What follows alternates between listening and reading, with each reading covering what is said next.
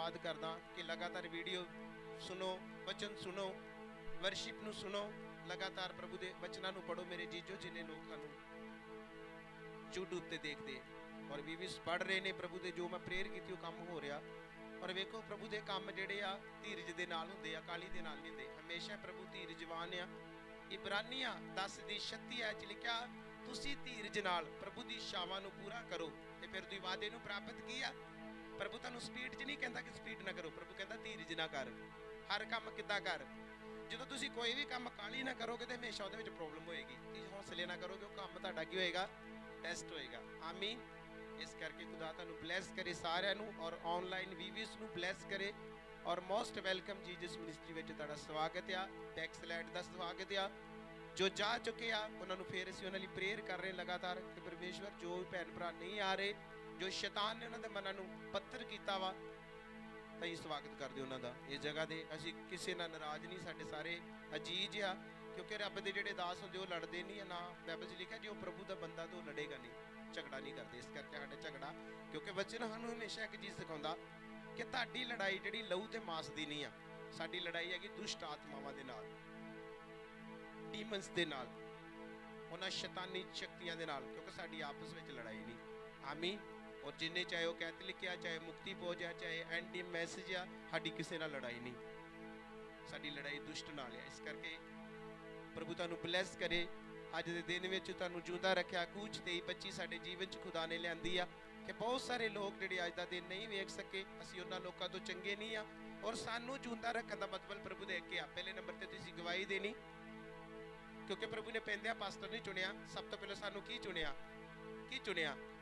ਅਸੀਂ ਇਹ ਗਵਾਹੀ ਦੇਣ ਵਾਲੇ ਐਵੈਂਜਲਿਜ਼ਮ ਅਸੀਂ ਭੈਣਾ ਭਰਾਵਾਂ ਨੂੰ ਗਵਾਹੀ ਦੇਣੀ, ਕਿਉਂਕਿ ਮੈਂ ਜਦੋਂ ਰਸੂਲਾਂ ਦੇ ਕਰਤੱਵ ਇਕਾਠ ਹੈ ਪੜ੍ਹਦੇ ਆ ਬਾਈਬਲ 'ਚ ਲਿਖਿਆ, ਜਦ ਤੁਸੀਂ ਪਵਿੱਤਰ ਆਤਮਾ ਪਾਓਗੇ, ਤੁਸੀਂ ਸ਼ਕਤੀ ਲਿਖਿਆ ਕਿ ਨਹੀਂ ਲਿਖਿਆ? ਲਿਖਿਆ ਯਹੂਦਾ, ਸਾਮਰੀਆ, ਯਰੂਸ਼ਲਮ, ਧਰਤੀ ਦੇ ਬੰਨੇ ਤੱਕ ਮੇਰੇ ਕੀ ਹੋਗੇ ਸਭ ਤੋਂ ਪਹਿਲਾਂ ਕਲੀਸਿਆ ਆਪਾਂ ਕੀ ਆ ਆਪਾਂ ਗਵਾਹ ਆ ਸਾਡਾ ਕੰਮ ਆ, ਅਸੀਂ ਲਗਾਤਾਰ ਲੋਕਾਂ ਨੂੰ ਗਵਾਹੀ ਦੇਣੀ। ਸਮੇਂ ਲੱਗੀ? ਅਸੀਂ ਗਵਾਹ ਆ ਤੇ ਗਵਾਹ ਦਾ ਕੰਮ ਕੀ ਆ? ਗਵਾਹੀ ਦੇਣੀ। ਪਾਸਟਰ ਆਪਾਂ ਬਾਅਦ ਚ ਆ। ਪਹਿਲੇ ਨੰਬਰ ਤੇ ਆਪਾਂ ਕੀ ਆ? ਅੱਜ ਆਪਾਂ ਹਰ ਇੱਕ ਗਵਾਹ ਆ ਸਾਡਾ ਹਰ ਇੱਕ ਬੰਦੇ ਦਾ ਕੰਮ ਕੋਈ ਨਹੀਂ ਆ ਰਿਹਾ। ਉਹਨੂੰ ਫੋਨ ਤੇ ਪੁੱਛੋ, ਉਹਦੇ ਘਰ ਜਾਓ। ਮਿਨਿਸਟਰੀ ਵਾਸਤੇ ਕੁਝ ਕਰਾਂਗੇ ਤੇ ਮਿਨਿਸਟਰੀ ਬੜੇਗੀ ਤੇ ਜੇ ਆਪਾਂ ਕਹਾਂਗੇ ਗੱਲਾਂ ਪਾਸਟਰ ਨੇ ਕਰਨਾ, ਆਪਾਂ ਤੇ ਆਉਣਾ ਤੇ ਮੀਟਿੰਗ ਸੁਣਨੀ ਹੈ ਤੇ ਘਰ ਚੱਲ ਜਾਣਾ, ਤੇ ਫਿਰ ਤੁਹਾਨੂੰ ਪਤਾ ਫਿਰ ਆਪਣਾ ਘਰ ਨਹੀਂ ਨਾ ਇਹ। ਆਪਾਂ ਇਹਨੂੰ ਘਰ, ਸਾਡਾ ਇਹ ਤੁਹਾਡਾ ਘਰ ਹੈ। ਤੁਹਾਨੂੰ ਪ੍ਰਭੂ ਨੇ ਖੜਾ ਕੀਤਾ ਮੇਰੇ ਨਾਲ।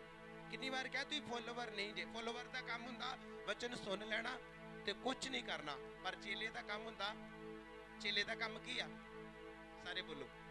ਚੇਲੇ ਦਾ ਕੰਮ ਆ ਕਿ ਆਪਣੇ ਦਾਸ ਨਾਲ ਮਿਲ ਕੇ ਤੇ ਕੀ ਕਰਨਾ? ਅਲੀਸ਼ਾ ਦਾ ਕੰਮ ਕੀ ਆਪਣੇ ਦਾਸ ਏਲੀਆ ਨਾਲ ਮਿਲ ਕੇ ਕੀ ਕਰਨੀ? ਕੀਤੀ ਸੇਵਾ ਨਾ ਯਹੋਸ਼ੂ ਦਾ ਕੰਮ ਕੀ ਆਪਣੇ ਦਾਸ ਮੂਸਾ ਦੇ ਨਾਲ ਮਿਲ ਕੇ ਉਹਨੇ ਕੀ ਕੀਤੀ ਆ? ਪ੍ਰਭੂ ਯਿਸੂ ਦੇ ਨਾਲ ਉਹਦੇ 12 ਪ੍ਰੇਰਿਤਾਂ ਨੇ ਮਿਲ ਕੇ ਕੀ ਕੀਤੀ ਆ? ਫਿਰ ਆਪਾਂ ਕੌਣ ਆ? ਅੱਜ ਆਪਾਂ ਬਿਮਾਰ ਨਹੀਂ ਆ, ਅੱਜ ਆਪਾਂ ਮਰੀਜ਼ ਨਹੀਂ ਆ, ਅੱਜ ਆਪਾਂ ਡਾਕਟਰ ਬਣ ਚੁੱਕੇ ਆ। ਹੁਣ ਆਪਾਂ ਮਰੀਜ਼ਾਂ ਨੂੰ ਕੱਢ ਕੱਢ ਕੇ ਲਿਆਉਣਾ ਜਿੱਥੇ ਜਿੱਥੇ ਮਰੀਜ਼ ਵਿਚਾਰੇ ਰੋ ਰਹੇ, ਨਸ਼ਿਆਂ ਦੇ ਨਾਲ, ਬਿਮਾਰੀਆਂ ਦੇ ਨਾਲ ਵਿਚਾਰ ਦੇ ਨਾਲ। ਇਹ ਤੁਹਾਡੀ ਸਪੋਰਟ ਆ। ਸਮਝ ਲੱਗੀ? ਬਾਈਬਲ 'ਚ ਲਿਖਿਆ, ਜੇ ਕੱਲੀ ਅੱਖ ਹੀ ਹੁੰਦੀ ਤਾਂ ਵੇਖ ਸਕਦੀ ਸੀ। ਜੇ ਕੱਲਾ ਨੱਕ ਹੁੰਦਾ ਤੇ ਸਿਰਫ ਸੁੰਘ ਸਕਦਾ ਸੀ। ਜੇ ਕੱਲਾ ਮੂੰਹ ਹੁੰਦਾ ਤੇ ਸਿਰਫ ਬੋਲ ਸਕਦਾ ਸੀ। ਜੇ ਕੰਨ ਹੁੰਦੇ ਤੇ ਸੁਣ ਸਕਦਾ ਸੀ। ਸਮਝ ਆਈ ਕਿ ਨਹੀਂ ਆਈ? ਆਪਾਂ ਪ੍ਰਭੂ ਦੇ ਬੱਚੇ ਆ ਔਰ ਖੁਦਾ ਨੇ ਸਾਨੂੰ ਅਲੱਗ-ਅਲੱਗ ਅੰਗ ਦੇ ਕੇ ਇੱਕ ਢਾਂਚਾ ਬਣਾਇਆ। ਸਮੇਂ ਲੱਗੀ? ਜਦੋਂ ਰੋਮੀਆਂ ਨੂੰ ਪੜੋਗੇ ਧਿਆਨ ਦੇ ਕੇ 12 ਨੰਬਰ ਚੈਪਟਰ, ਉਹਨੂੰ ਧਿਆਨ ਨਾਲ ਪੜੋ ਉੱਥੇ ਲਿਖਿਆ ਜਿਹੜਾ ਨਬੂਵਤ ਕਰਦਾ, ਨਬੂਵਤ ਕਰੇ। ਜਿਹੜਾ ਸੇਵਾ ਕਰਦਾ ਸੇਵਾ ਹੀ ਕੀ ਜਿਹੜਾ ਉਪਦੇਸ਼ਕ ਉਪਦੇਸ਼ਕ ਦਾ ਕੰਮ। ਤੇ ਬਾਈਬਲ 'ਚ ਲਿਖਿਆ, ਜਿਹੜਾ ਦਾਨ ਦਿੰਦਾ, ਉਹ ਖੁੱਲੇ ਦਿਲ ਦਾਨ ਹੀ ਕੀ ਕਰੇ? ਡਿਊਟੀ ਆ ਨਾ ਸਾਡੀ। ਹਰ ਬੰਦੇ ਦੀ ਇੱਕ ਕੀ ਆ? ਤੁਸੀਂ ਕੋਈ ਆਮ ਨਹੀਂ ਜੇ, ਤੁਹਾਡੀ ਡਿਊਟੀ ਆ, ਤੁਹਾਡੇ ਅੰਦਰ ਬਹੁਤ ਵੱਡੀਆਂ ਪਲੈਨਿੰਗਾਂ ਖੁਦਾ ਨੇ ਰੱਖੀਆਂ। ਪਰ ਜਿਵੇਂ ਜਿਵੇਂ ਸਮਝ ਲੱਗੇਗੀ, ਤੁਹਾਨੂੰ ਫੇਰ ਪਤਾ ਲੱਗੇਗਾ, ਹਾਂ, ਅਸੀਂ ਕੀ ਕਰਨਾ ਹੈ? ਫਿਰ ਤੁਹਾਨੂੰ ਸਮਝ ਲੱਗਣੀ, ਹੋ ਹੋ, ਸਾਡੇ ਦਾਸ ਦਾ ਥੋੜੀ ਇਕੱਲੇ ਦਾ ਕੰਮ ਹੀ। ਇਹ ਤਾਂ ਸਾਡਾ ਕੰਮ ਹੀ। ਪਰ ਆਪਾਂ ਤੇ ਆਪਣੇ ਦਾਸ ਨੂੰ ਡੀਕਦੇ ਹੁੰਦੇ ਹਾਂ ਵੀ ਦਾਸ ਆਏਗਾ, ਬੋਲੇਗਾ, ਸ਼ੁਰੂ ਹੋਏਗਾ। ਸਮਝ ਆ ਰਹੀ ਕਿ ਨਹੀਂ? ਅੱਖਾਂ ਖੁੱਲ ਰਹੀਆਂ। ਹਰ ਬੰਦੇ ਦੀ ਇੱਕ ਕੀ ਆ? ਪਹਿਲੇ ਨੰਬਰ ਤੇ ਆਪਾਂ ਕੌਣ ਆ? ਸਾਰੇ ਉੱਚੀ ਆਵਾਜ਼ 'ਚ ਬੋਲੋ। ਅਗਵਾ। ਪਹਿਲੇ ਗਵਾਹ ਆ ਪਾਸਟਰ ਬਾਅਦ 'ਚ ਆਪਾਂ। ਆਮੀ, ਸਭ ਜਨ ਆਪਣੇ ਸਿਰਾਂ ਤੇ ਹੱਥ ਰੱਖਾਂਗੇ। ਭਜਨ ਸਹਿਤਾ। 32 ਜਿਹਦਾ ਟਾਈਟਲ ਹੈ ਪਾਪਾਂ ਦਾ ਇਕਰਾਰ, ਕਿਉਂਕਿ ਮੇਰੇ ਜੀਜੋ ਬੋਲਣ ਦੇ ਨਾਲ, ਸਮਝਣ ਦੇ ਨਾਲ ਅਸੀਂ ਬਹੁਤ ਸਾਰੀਆਂ ਗਲਤੀਆਂ ਕਰਦੇ ਹਾਂ ਔਰ ਪ੍ਰਭੂ ਸਾਡਾ ਦਿਆਲੂ ਤੇ ਕਿਰਪਾਲੂ ਸਾਨੂੰ ਸ਼ਮਾ ਕਰਨ ਵਾਲਾ, ਜਿੰਨੇ ਵੀ ਭੈਣ ਭਰਾ ਇਸ ਜਗ੍ਹਾ ਤੇ ਆ, ਪੂਰੇ ਹਫ਼ਤੇ 'ਚ ਜੋ ਵੀ ਕਿਸੇ ਨਾਲ ਬੋਲਿਆ, ਕਿਸੇ ਨੂੰ ਕੁਝ ਵੀ ਕਿਹਾ, ਮਾਫੀ ਮੰਗੋ ਸਾਰੇ। ਇਸ ਭਜਨ ਸਹਾਇਤਾ ਦੁਆਰਾ ਆਪਾਂ ਸਭ ਕਨਫੈਸ ਕਰਾਂਗੇ ਔਰ ਸ਼ੁਰੂਆਤ ਕਰਾਂਗੇ। ਹਾਂਜੀ। ਪਾਪ ਦੇ ਇਕਰਾਰ ਦੀ ਖੁਸ਼ੀ ਤਨ ਹੈ, ਉਹ ਜਿਹਦਾ ਅਪਰਾਧ ਖੀਮਾ ਹੋ ਗਿਆ ਜਿਹਦਾ ਪਾਪ ਟੱਕਿਆ ਹੋਇਆ ਹੈ, ਤਨ ਹੈ, ਉਹ ਆਦਮੀ ਜਿਹਦੀ ਬਦੀ ਯਹੋਵਾ ਉਹਦੇ ਲੇਖੇ ਨਹੀਂ ਲਾਉਂਦਾ ਅਤੇ ਜਿਹਦੀ ਆਤਮਾ ਵਿੱਚ ਕਪਟ ਨਹੀਂ ਹੈ, ਜਦ ਮੈਂ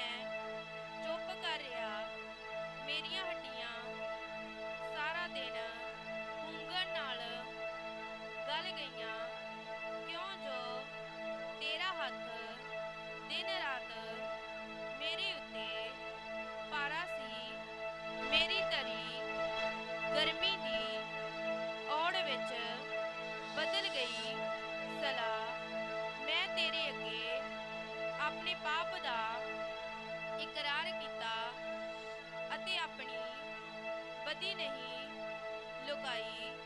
ਮੈਂ ਆਖਿਆ ਕਿ ਮੈਂ ਆਪਣੇ ਅਪਰਾਧਾਂ ਨੂੰ ਯਹੋਵਾ ਦੇ ਅੱਗੇ ਮੰਨ ਲਵਾਂਗਾ, ਤਾਂ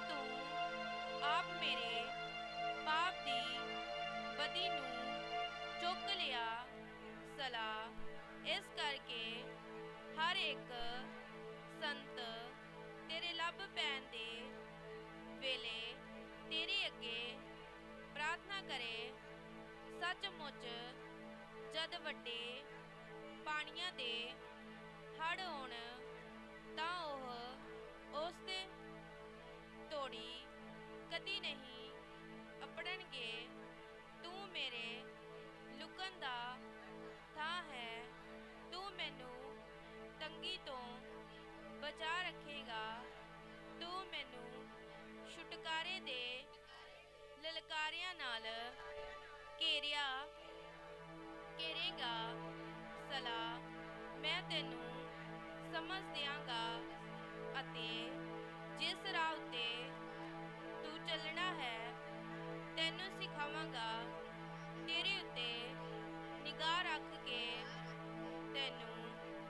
ਸਲਾਹ ਦਿਆਂਗਾ। ਤੁਸੀਂ ਘੋੜੇ ਅਤੇ ਖੱਚਰਾਂ ਵਰਗੇ ਨਾ ਹੋਣਾ, ਜਿਹੜੇ ਬੇਸਮਝ ਹਨ, ਲਗਾਮ ਅਤੇ ਵਾਗ ਨਾਲ ਉਹਨਾਂ ਨੂੰ ਕਾਬੂ ਰੱਖੀਦਾ ਹੈ। ਨਹੀਂ ਤਾਂ ਉਹ ਤੇਰੇ ਨੇੜੇ ਨਾ ਆਉਣਗੇ। ਦੁਸ਼ਟ ਉੱਤੇ ਬਹੁਤ ਸਾਰੀਆਂ ਵਿਪਤਾ ਹਨ। ਪਰ ਯਹੋਵਾ ਦੇ ਵਿਸ਼ਵਾਸੀ ਨੂੰ ਦਿਆ ਕੇਰੀ ਰੱਖੇਗੀ। ਹੇ ਧਰਮੀਓ, ਯਹੋਵਾ ਵਿੱਚ ਆਨੰਦ ਹੋਵੋ ਅਤੇ ਖੁਸ਼ੀ ਮਨਾਓ। ਹੇ ਸਾਰੇ ਸਿੱਧੇ ਦਿਲੋਂ ਜੈਕਾਰਾ ਗਜਾਓ। ਆਮੀਨ ਆਮੀਨ ਆਮੀਨ। ਸਭ ਜਨ ਜ਼ੋਰਦਾਰ ਤਾਰੀਫ ਕਰੋ ਪ੍ਰਭੂ ਦੇ ਵਚਨਾਂ।